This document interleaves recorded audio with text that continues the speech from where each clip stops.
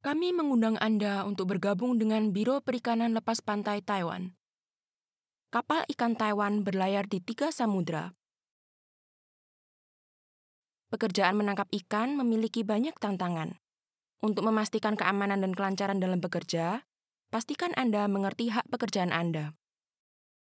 Sebelum Anda memutuskan untuk bergabung dengan armada penangkap ikan, Anda harus tanda tangan kontrak pekerjaan dengan pemilik kapal dan tanda tangan kontrak dengan agen Taiwan.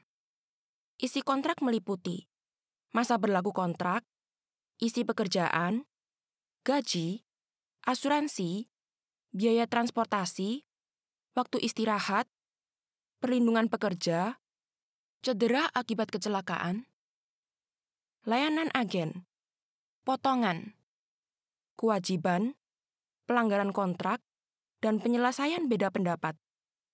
Mari kita bahas isinya satu persatu. 1. Masa berlaku kontrak.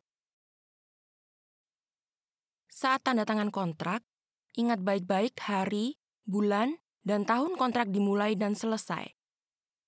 Apabila saat berlayar kebetulan masa berlaku kontrak terlewati, masa berlaku kontrak akan otomatis diperpanjang hingga Anda berlabuh. Saat masa kontrak habis, kalau Anda dan pemilik kapal sepakat untuk memperpanjang kontrak, kedua pihak harus menandatangani kontrak yang baru. 2. Isi pekerjaan. Kapal tempat Anda bekerja dan apa saja pekerjaan yang harus Anda lakukan telah tercantum di dalam kontrak. Tanpa persetujuan Anda atau tanpa melalui proses transfer yang benar, siapa pun tidak boleh memaksa Anda untuk berpindah kapal.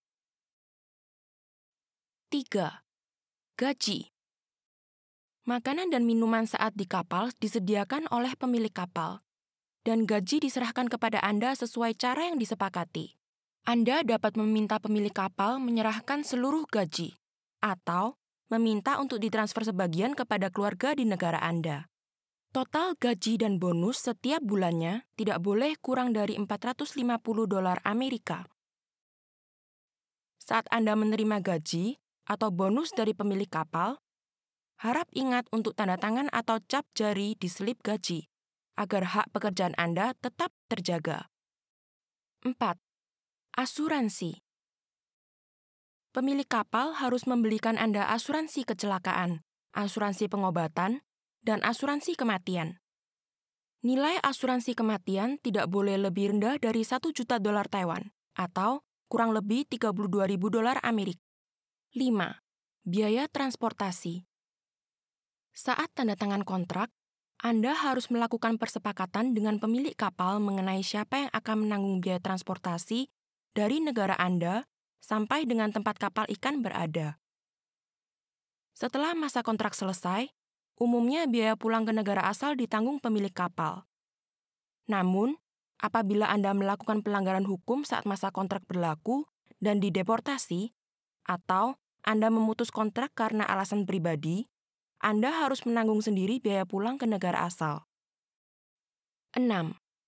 Waktu istirahat. Menurut peraturan, waktu istirahat setiap hari tidak boleh kurang dari 10 jam.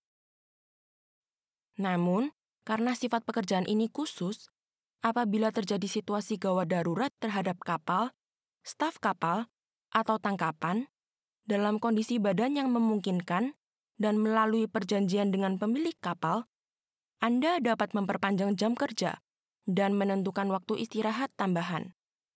7. Perlindungan pekerja. Untuk menjaga keamanan saat bekerja, pemilik kapal harus memastikan fasilitas keselamatan di kapal dalam kondisi lengkap dan baik, seperti sekoci, jaket pelampung, dan pelampung.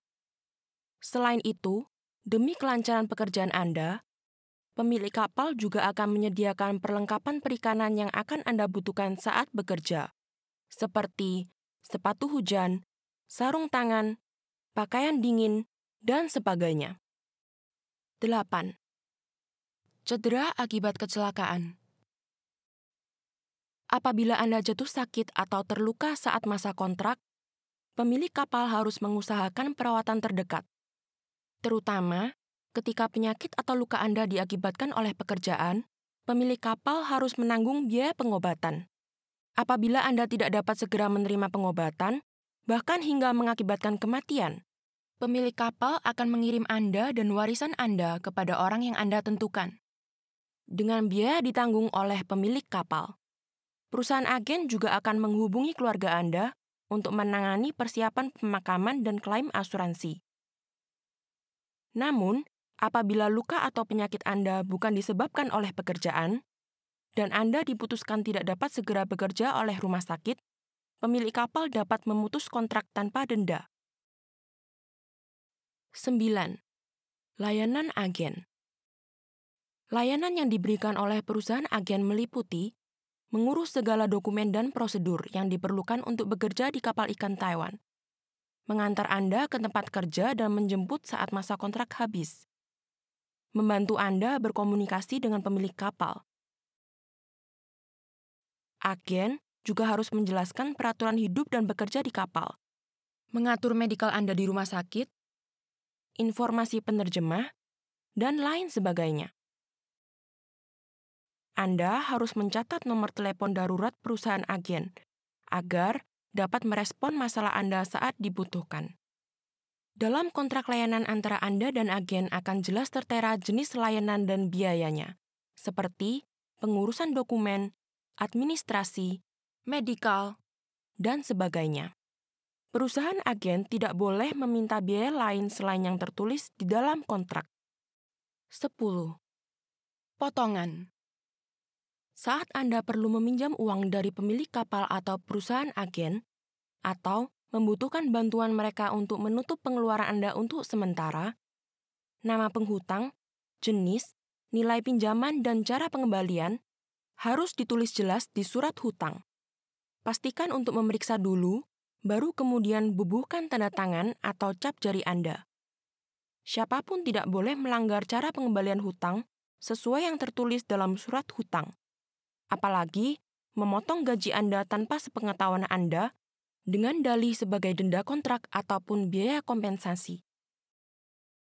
11.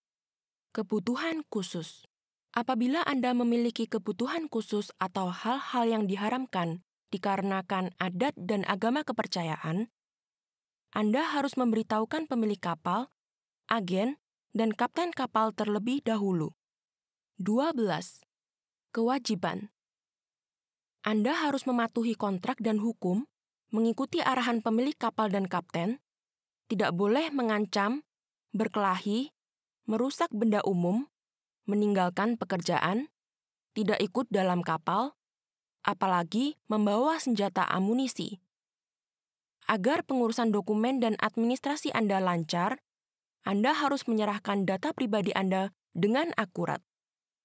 Apabila ditemukan data yang tidak benar, yang berakibat masalah di keimigrasian, konsekuensi ada pada Anda. 13. Pelanggaran kontrak Apabila ingin memutus kontrak lebih awal, Anda harus menghubungi pemilik kapal atau agen lebih dulu. Apabila pemutusan kontrak atau ditinggalnya tugas mengakibatkan kerugian terhadap pemilik kapal maupun perusahaan agen, kecuali sebab di luar kendali Anda, maka Anda harus menanggung akibatnya. Sama halnya, pemilik kapal atau perusahaan agen yang memutus kontrak lebih awal harus pula menanggung kerugian Anda. 14. Tanda tangan kontrak.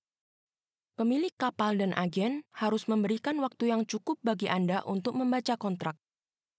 Setelah jelas mengerti hak dan kewajiban Anda, barulah menandatangani kontrak pekerjaan dengan pemilik kapal dan menandatangani kontrak layanan dengan agen Taiwan.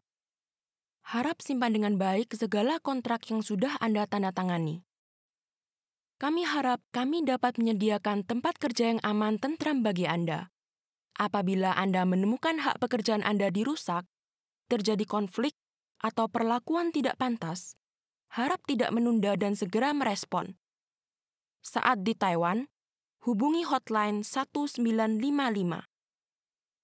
Saat di luar Taiwan, hubungi tanda tambah 886 2 8073 3141 atau melapor ke kantor perwakilan Taiwan di luar negeri, Observator investigator, atau staf khusus lainnya. Anda juga dapat melapor kepada staf pemeriksaan di pelabuhan. Departemen Perikanan mengucapkan selamat berlayar kepada Anda.